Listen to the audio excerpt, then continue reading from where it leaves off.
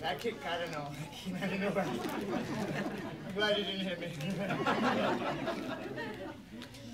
okay. So for my final opponent, Darryl Vidal. I said, he was in the Fish Karate Kid movie. Uh, I, he and I competed back in the day. He had amazing kicks. He could hold his kick out like this, and uh, just you could count to like 20. And whenever he showed up, I'm like, oh man, Dale's They'll get third. and um, we lost touch over the years, but through the, uh, the magic of Facebook, we were able to reconnect.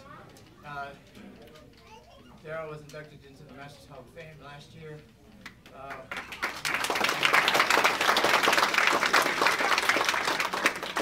still teaches. He's, he spent, you know, the last. How many kids you got? Four.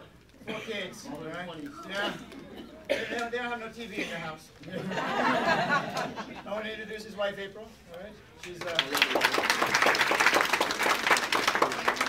and um, since Darryl's still teaching in Murrieta, California, right? And um, just uh, so happy that you're here, sir.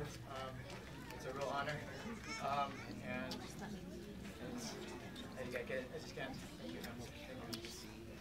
I'm ultimately honored to be here with Sensei Ford. As he said, we've known each other for 30 years, uh, competed together. Uh, great martial artist, and this is a great cause. You can see uh, the inscription on my belt is actually a memorial of my instructor's wife who passed from cancer six years ago to the memory of Beth Rosas, and along with my brother-in-law, April's brother, also passed from cancer. So this is an, an endeavor that's near and dear to my heart, and I appreciate and honor you in this effort.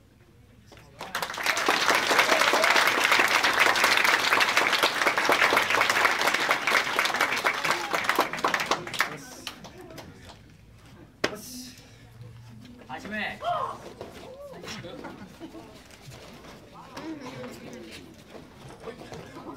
Mr. Goddess, this thing. it's like I'm in a movie.